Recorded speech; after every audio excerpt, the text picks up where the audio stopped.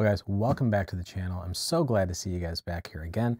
Uh, I know it has been quite a while since I've last put out anything and for that I apologize. I've had a lot going on, some valid reasons, some not so much valid. But hey, we are back, so let's go.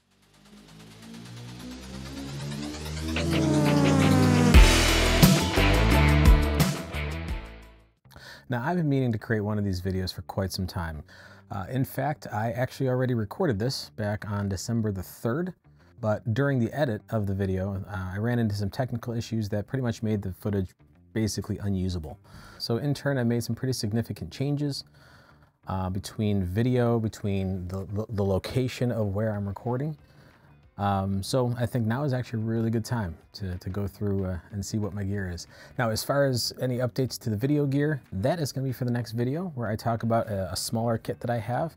Uh, but for now, we're gonna be going through my main kit here, which is uh, here in my Shimoda Explore 35 liter. This is the version two of the bag.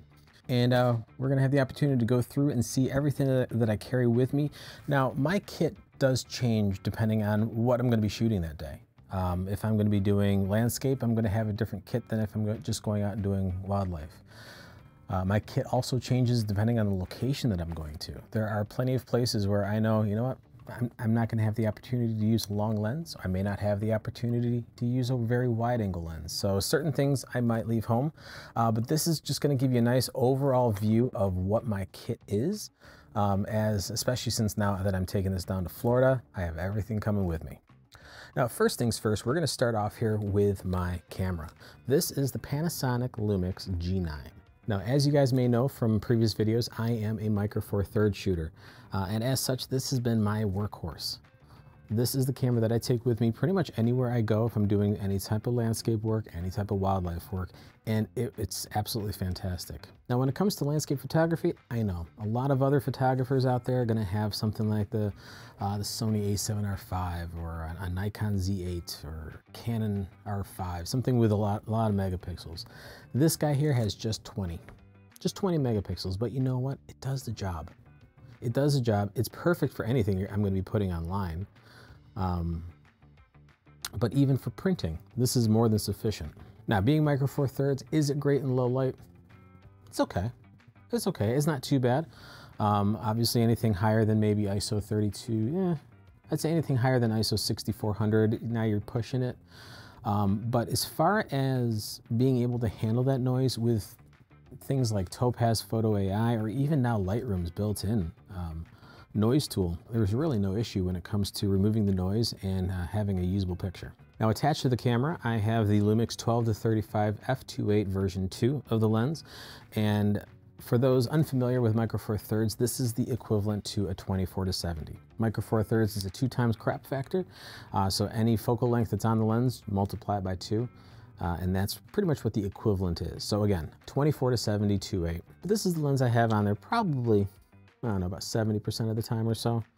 Um, it is not my primary landscape lens, but it is still the workhorse lens. It's, it's kind of the do-it-all, right? It's great for landscapes. It is great for portraits. I, I, absolutely love this lens. And this is what I'm talking about though when it comes to Micro Four Thirds, because like I said, this is like a 24 to 70. Consider the height of this. This is about, I don't know, maybe three inches or so. And it's just a little tiny guy on there front element here is just a, I believe is a 58 millimeter thread. I have a step ring on here to bring it up to 67, but this is why I love Micro Four Thirds. It is just so small and so compact and so lightweight as well. Moving right along here, we'll talk about my primary landscape lens. This guy right here, this is the Panasonic Leica 8 to 18 millimeter um, f2 to f4. Um, so again, in full frame equivalency, this is a 16 to 36 millimeter. And just as a testament to how tiny things are, this is a 16 to 35 essentially, this little tiny lens here. And I absolutely love this. It is incredibly sharp. It is great for those wide angle shots if you want that grand landscape. Um, especially if you're especially if you're going to be composing something that has all the elements that you really want, right? You have a nice foreground, midground, background. That's where this wide angle lens really shines and I absolutely love it. Next, in the bag here, this is a lens. I'll be honest, it doesn't get used all that much. This is the Lumix 45 to 150. Uh, this is just essentially the Plastic Fantastic, although it is a metal body. It is a metal body, it's a metal mount, but it is still just a cheap lens. You can buy these used for about 100, 150 bucks on most websites like MPB, KEH. It's a good lens. It's a good lens. We'll, we'll, we'll put it at that. Is it great? No, it's not. Um, so again, this is the equivalent of a 90 to 300 millimeter. And the only reason I have not yet upgraded from this lens is because I don't really shoot much in this focal range. When I'm deciding on purchasing a lens, I like to go through my Lightroom catalog and I'll, I'll take a look at the images that I've taken throughout my entire career just to kind of get an idea like, is this something that I'm really going to utilize? Is something like the, the, the upgrade to this would actually be something like the, the Lumix uh, 35 to 100 or 70 to 200 is that a lens that I shoot with? Now I've had my fair share of lenses in this focal range. Back in my DSLR days when I was shooting a crop sensor, I had a D200 and then a D7000. Uh, I had the 70 to 300 on both of those cameras. And I really wasn't utilizing this lens in that, in that range all that much. Um, anytime I used it, I was either shooting down towards the wide end around 70 millimeter, or I was shooting all the way zoomed in at, at 300 millimeters. Now, of course, on a crop sensor, that's 450 millimeters. So was I really utilizing it that much? Only at those, only at the either the wide or the long part of it. Um, so because of that, I really don't feel a need to upgrade this. Now I do carry it just on the off chance I do need something in the middle, but yeah, it's not, it's not really something that I use all that much. The reason for that is the next lens. This is the Panasonic 100 to 300 millimeter f4 to f5.6 uh, version 2. This is my primary wildlife lens. I absolutely love this lens. Is it the sharpest lens? No. Are there sharper lenses out there? Yes, there is the Lumix. Um, actually, I believe it's the Panasonic Leica 100 to 400 millimeter. Um, there's also an Olympus 100 to 400 millimeters. There's also the Olympus 300 millimeter. Is it f4? Yes, the f4. There's a lot of better lenses out there, but for the money, you really can't beat this. This brand new is, I think like 500 something dollars. Um, and this is giving you a full full frame equivalency of two to 600 millimeters, which is, is incredible, especially for such a compact size. But this is also why I don't often use the 45 to 150 because again, I'm shooting primarily at that longer focal range. So 100 to 300, 200 to 600. This is a very capable lens. I think a lot of people underestimate its capabilities. So if you shoot in micro four thirds and you're looking for a long lens, but kind of on a budget, I can't recommend this lens high enough. It is just wonderful. All right, moving along here. Uh, let's see. Next, we'll talk about filters. You may have noticed on the front of some of my lenses here, uh, I have Kase lens caps, and that is because I do use Kase filters. Um, I don't use the Kase case, the Kase filter case. But as far as filters are concerned, I really only use three. Um, I have the Kase polarizer here. I have the three stop uh, ND filter and I have a six stop ND filter. And that since that's all I use, I like using one of these cheapy little uh, small cases that you can pick up on Amazon for, for very little money. Now, as a side note, everything that I'm talking about today is going to be linked down in the description. They are affiliate links that you can use to make a purchase if you'd like. But because, but again, because I use only the three filters, the case that's included with the Kase filters, Kase case, is quite large. It's, it's quite a bit thicker, and I'm not really utilizing it. Next up here, we have Oh, well, this is the case for my DJI microphone. As you can see, I'm using here, got the other end connected to um, a camera across the room there. And yeah, anytime I'm recording any type of content, this is, this is the microphone that I'm using. The DJI microphone system though, absolutely love it. Uh, let's see, what else we have here? Ah, okay. Here, let me just pull out a few things at once. Going down to Florida, I don't have any plans of recording any content for the channel down there, but there is a chance I might want to take some video just to record the trip. So one thing that I'm going to be taking with me is the DJI Action 3 action camera. I have it in a SmallRig cage just to give it some added protection. With that, I also am going to be taking this set of filters here. I believe this is from Neewer. Uh, and we have a great set of filters. This is, I believe, let's see, this has a polarizer as well as ND filters from two to five stops. Two, three, yeah, two, three, four, and five stops. Um, there's a lot of brands out there selling filters, um, but these these Neewers, I absolutely love them. And of course, I have the battery case for the action camera as well, so I have a couple of extra batteries inside here. All right, what else do we have left in here? Uh, let's see, we got some batteries. I have this old Think Tank case here with a couple of spare batteries for the G9 inside. Uh, I like to keep my batteries labeled as well. Uh, I have on there the the date that they were purchased. If I purchase more than one that day, I also am going to number them just to keep track of them because I do want to make sure that I'm rotating my batteries and making sure they're all getting used. For the most part, I will probably go through one at most two batteries in a day, but I always like to make sure I have some extras with me as well. Um, while I'm down in Florida, I'm going to be doing some sunrise shots, some sunsets as well. And uh, just in case I need some light, I have a little headlamp. Uh, this is from um, Petzl. Next I have, this is the Peak Design capture clip and it's attached to, I forgot what they call this. Um, Peak Design, yeah, I don't remember what it's called. Again, it's gonna be linked down below. If you're using the capture clip on your hip, uh, this is a great way to lower it down a little bit further um, so that way your, your camera is not digging right into your side. Um, so camera slips down right into here and then this just slides right through a belt loop. Um, also, one thing I, for, I forgot to mention on my camera is the L bracket. And I want to bring this up here because, for one, when it came to the G9, when I purchased this, I really couldn't find any custom uh, plates for it, nothing specifically designed for the G9. But one thing I did come across was this plate from Three-Legged Thing. This is the Three-Legged Thing uh, L or LE. Uh, this is the, uh, the camera plate from them, and I absolutely love this because as you can see, the bottom of this plate here is a square.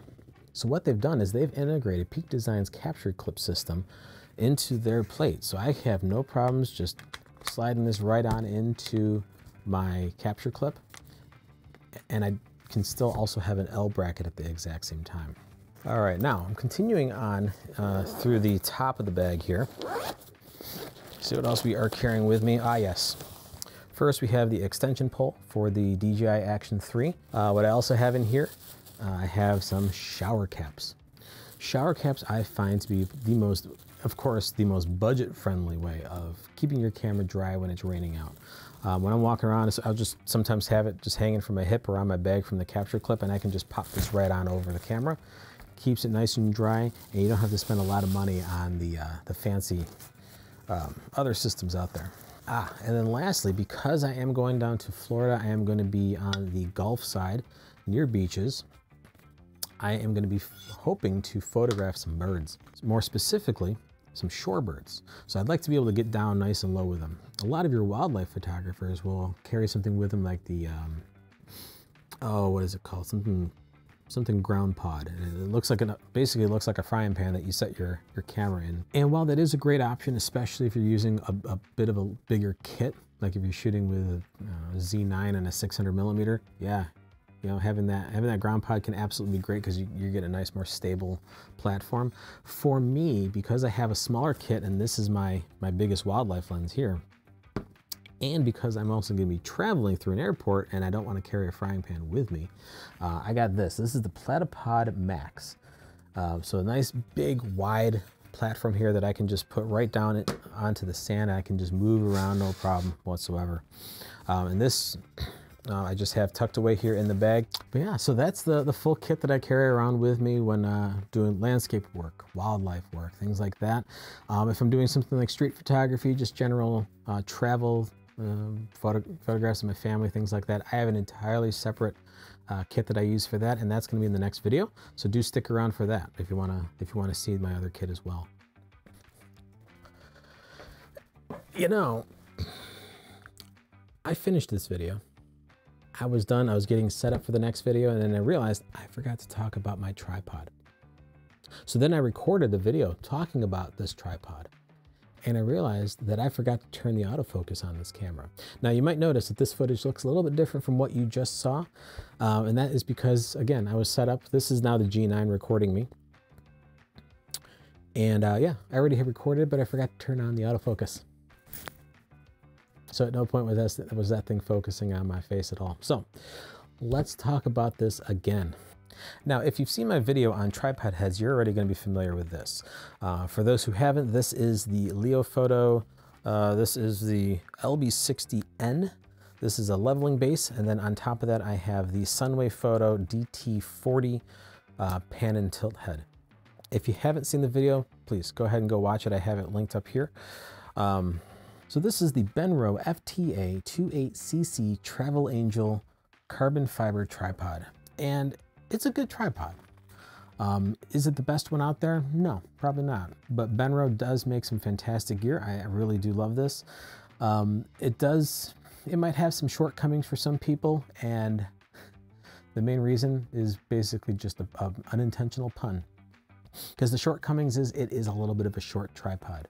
Now for me, for reference, I am just a mere five foot six or this many centimeters for those who live in the, uh, the civilized part of the world. And full, fully open with the, with the center column removed, this puts my camera perfectly at eye level for me. Uh, this might not be enough of a, a, tripod for you, but definitely do your research when, when looking for tripods to make sure that you're getting something that's gonna be tall enough for you without having to extend a center column. But hey, I wanna thank you so much for stopping by, for watching this video, making it all the way through. Really do appreciate that. If you do want to see more content related to this, I do hope on uh, actually getting some videos done is out in the field maybe. I'm uh, doing some, some on the spot, some on location work. I'll be honest, it's a little bit more difficult for me because I don't live in an area where there's a lot of secluded areas. We have a lot of state parks. And because that we have a lot of people walking around and you know, like like some other people, like you know, Thomas Heaton, for example, has has made it really well known. Like him, I, I, have a bit of an aversion with recording myself in front of other people, especially because I'm just launching this channel now and I don't have the greatest subscriber count. Um, so it's just kind of I don't know. It's a little weird. So that's what makes it a little bit more difficult. And for that, I do apologize that yes, you haven't gotten a whole lot of content related to actual photography, actually out in the field doing something. Um, but I have absolutely loved the opportunity to talk to you guys about the gear that I'm using. Um, and if you want to, if you want to see more of that content, please do consider subscribing to the channel. If that's too much though, I completely understand. But if you still enjoyed it, give it a thumbs up drop a comment down below. Let me know what you're using. Um, are there any, P are you a Micro Four Thirds shooter and using anything that maybe I, maybe I should take a look at and consider? Um, please let me know. I'd love to hear from you. I read every single comment that comes through. It's easy for me to say right now because I don't get the, the, the, the highest amount of comments, so it makes it quite easier for me. But yeah, that's to be it for this week, and uh, I'll talk to you guys later.